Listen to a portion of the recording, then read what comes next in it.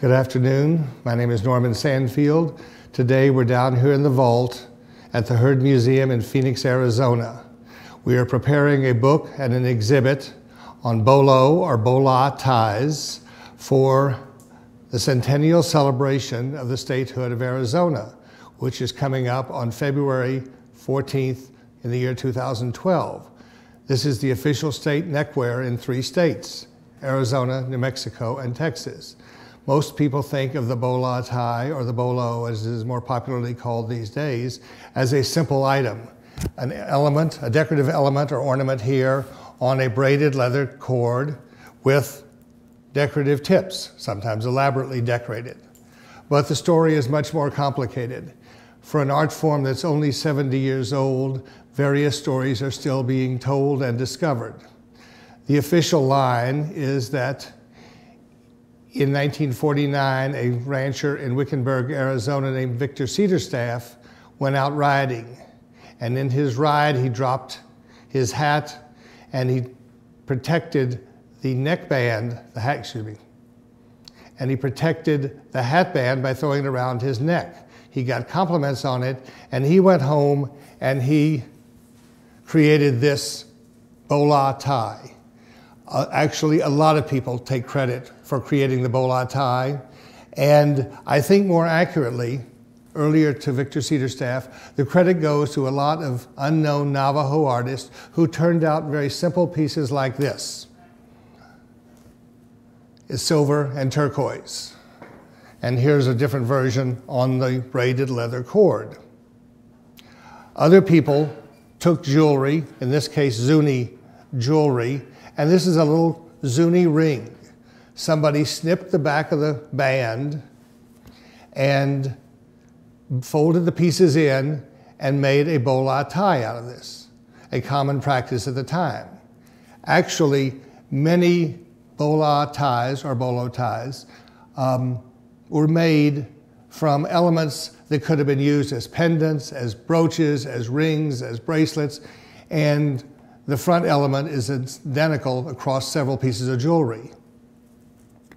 The man who gets credit for being the first, officially the first Native American, is Bernard Dawahoya, who it is said in 1956 made a bola tie. This is one of his later pieces, a very popular design. He made quite a few of this uh, cornstalk piece. As the bola developed, it was found in different tribes, in different groups, in different places across the country, uh, different materials. Here's a beaded piece. And we have a walrus ivory piece from Alaska or the northwest coast. Notice that the tips are carved eagle claws um, and decorative as well. A match set, of course, is much nicer than just throwing a commercial cord on a piece. Some of them are large and showy, as this piece would be if worn.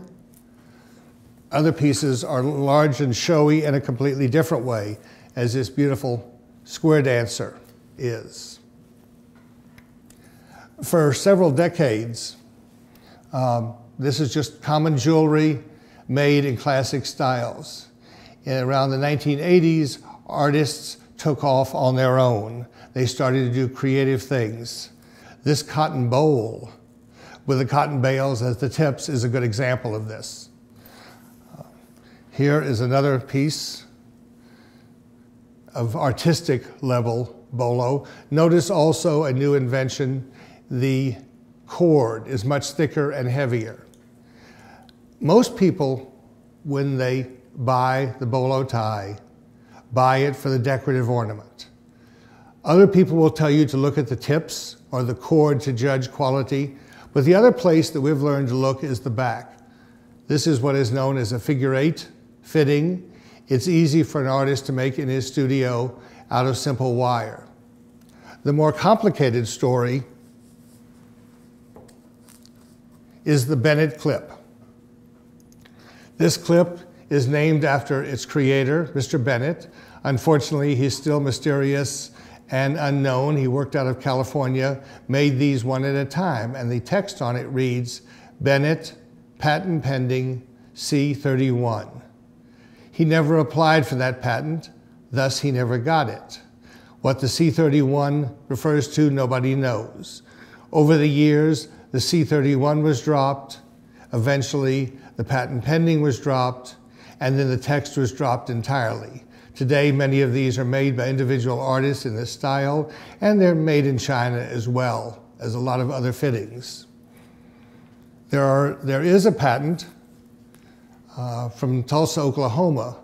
Mr. Day and Mrs. McKenzie, a father and daughter, patented this fitting. It's a push button. And it, you know it's patented because it actually has the patent number on it. And they made two different versions of it, two different sizes, to house two different thicknesses of cords.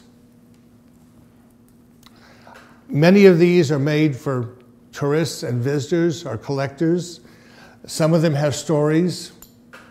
Here is a piece in remembrance of POWs and MIAs in the Vietnam War. Uh, we don't know who made it or who they made it for, but somebody who cared.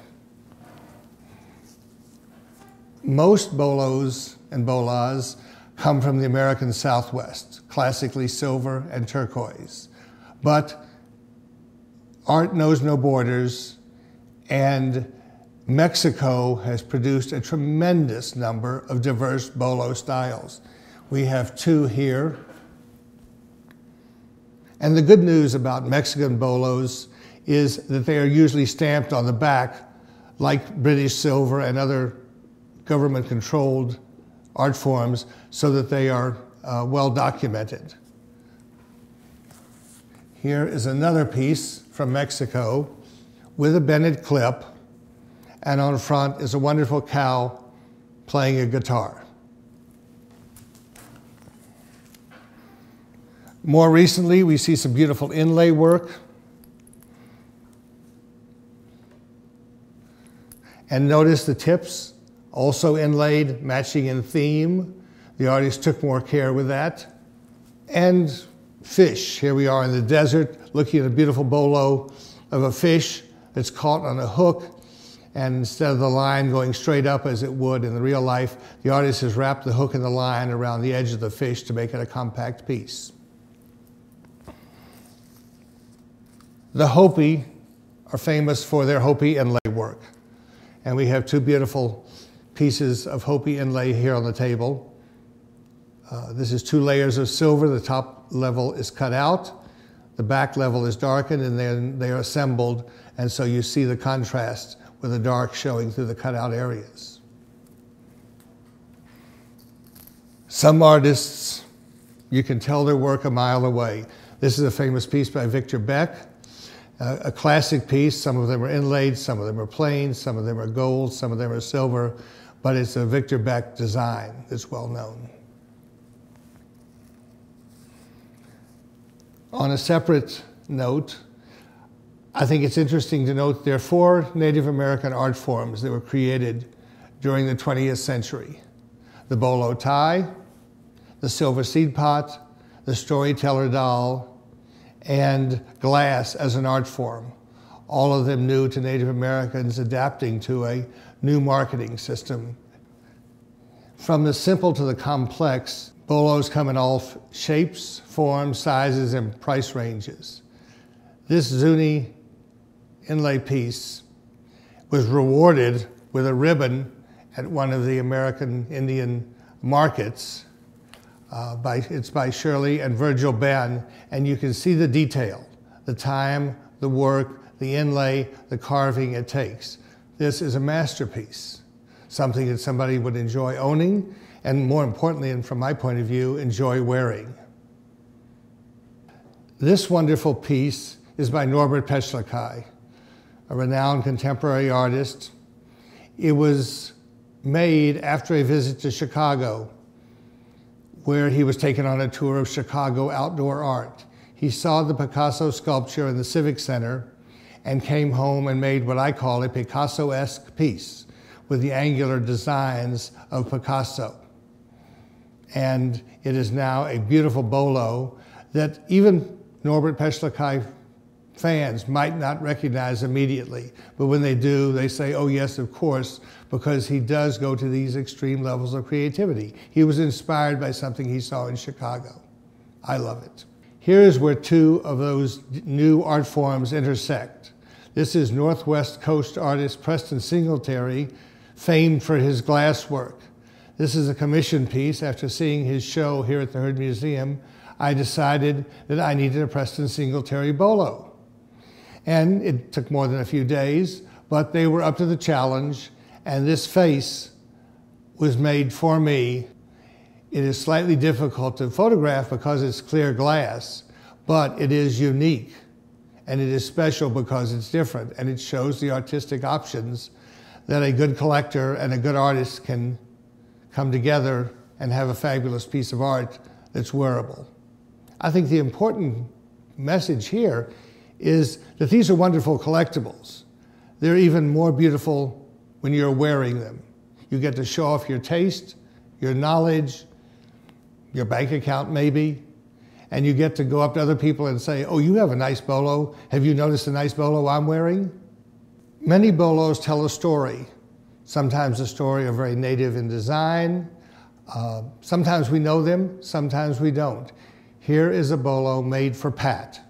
Who Pat was, we do not know, but he or she once owned this beautiful bolo and is now part of the collection.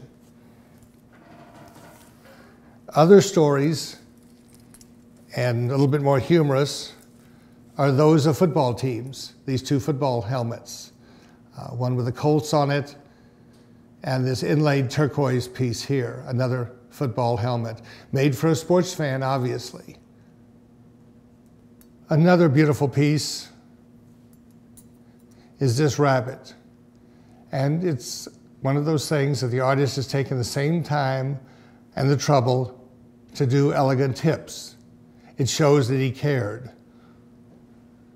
The old, arguably the oldest piece on the table is a recently made piece, but the material is old. This is dinosaur bone, a beautiful material when polished like this, set in a very elegant and simple setting. It makes a very elegant statement. No complexity, just an unusual discussion point for those who say, What is that material you're wearing? I hope you found this as interesting as we have. The show opens at the Heard Museum November 19th, 2011, and will go well into 2012. The book will be available at the same time. And of course, you can always find more information on the museum's website, www.heard.org. That's spelled H E A R D. Thank you for listening.